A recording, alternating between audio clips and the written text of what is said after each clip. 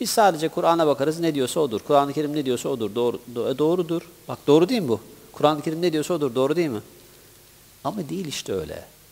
Niye? Çünkü o sözün vardığı yer doğru değil. Tamam söz doğru gibi gözüküyor ama sözün vardığı yer doğru değil. Onun için Peygamberimiz aleyhissalatü vesselam devre dışı bırakılırsa Kur'an-ı Kerim devre dışı bırakılmış olur. Din devre dışı bırakılmış olur. Bak din, dini devre dışı bırakmanın yolu, din devre dışı bırak ne yapmıyorsun? Bak başka bir şey daha soracağım size. Dini, dini devre dışı bırak ne yapmıyorsun? Demiyorsun. Ne diyorsun? Peygamberi devre dışı bırak diyorsun. Peygamberi devre dışı bırakınca otomatikman din ne oluyor? Söyleyin. Devre dışı oluyor. Çünkü elde kalan dini öyle kıytırık bir şey oluyor. Peki bir, boy, bir, bir tık daha ileri gidiyorum şimdi. Biraz daha böyle daha böyle güncel, daha böyle bizim hayatımıza dokunan şey, dokunan şeye geliyorum. Hocaları devre dışı bırak. Bitti. Din devre dışı kaldı. Biz sizin Müslümanınızda bir şey demiyoruz. Müslüman olun. Biz de Müslümanız elhamdülillah. Çok şükür Müslümanız.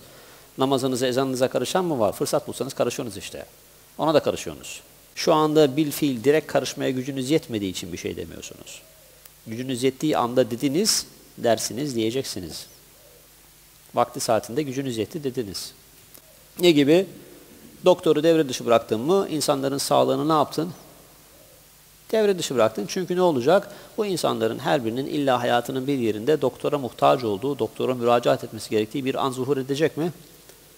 Edecek. Bitti. E sen doktorla bağlantısını kesti mi bu adamın? Yok ben doktorların sözüne güvenmem. Ben doktorları dinlemem. Doktor kim ya? Allah Allah ya. Doktor da kitaptan okuyor. Ben de o kitabı okurum. Doktorun okuduğu kitap yok mu? Kitapta satılmıyor mu kardeşim? Söyle satılmıyor mu? Satılıyor. Ben de giderim açarım okurum kitaptan. Ona göre alırım çocuğumu. Çocuğumun karnı ağrıyormuş. Alırım. Bıçak da var bizim evde. Bizim evde bıçak var mı? Var. Bıçakla keserim ben çocuğu. Tövbe tövbe. Öyle saçma. Sen doktorla bağlantısını kessen mi bu adamı sağlıksızlığa mahkum ettin demektir.